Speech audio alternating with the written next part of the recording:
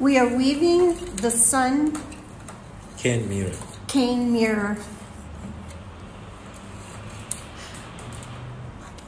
Um, you can check on the developments of how it's going. I brought my wife in to check on it as well and say something about it. This this also happens to be her first live uh, video recording. So continue, Sandy. This mirror is very beautiful.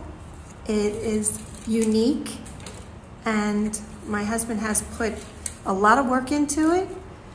You will see um, all the details, how it's woven, and I think you will enjoy looking at it and quite possibly purchasing one. Yeah, we um, we are really grateful for the engagement here. So feel free to check on it, and you can ask us some questions. This is not a very long video, but at least something we had to share today. Thanks so much, and God bless.